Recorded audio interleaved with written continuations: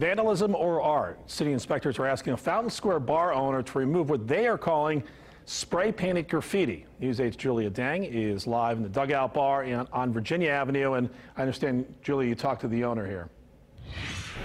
Yeah, Mike, he told me he is willing to comply with the city's demands, but he wanted to make it clear what they're calling on him to remove is not vandalism. It's part of the mural created by a prominent artist.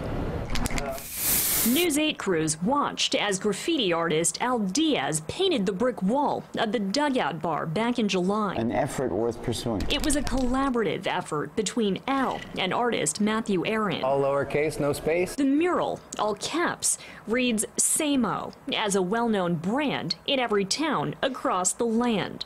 The Samo tag, a shortened play on the phrase same old, has appeared in street art for decades. It dates back to 1978.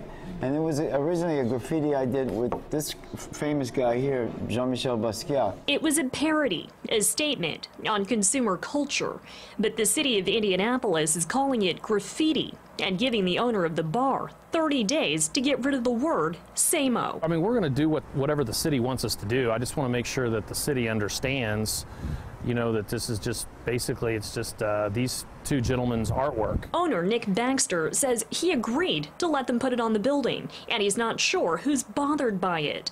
A city inspector confronted him after investigating a complaint about the mural. You know, with the rise of property values, you know, there's been a um, you know, maybe a view from a lot of the artists that they've been kind of pushed out of this neighborhood and pushed out of, you know, Fletcher Place and, and Fountain Square. But, you know, there's still a lot of artist-friendly businesses you know, up and down Virginia Avenue here. The Arts Council of Indianapolis is now urging the city to rethink their removal demand. That SAMO, that tag, is seen on paintings in museums.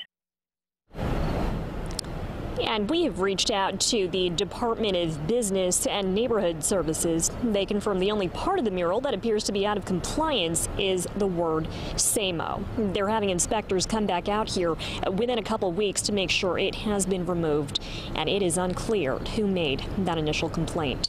Reporting live, Julia Deng, Wish TV, News 8.